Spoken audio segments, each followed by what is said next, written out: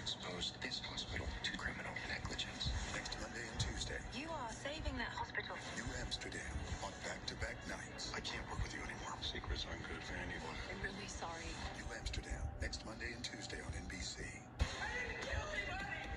My client suffers from a medical condition. He is the only person to kill because of a few headaches. I think the condition is real. He's lying to his teeth. You're missing the point.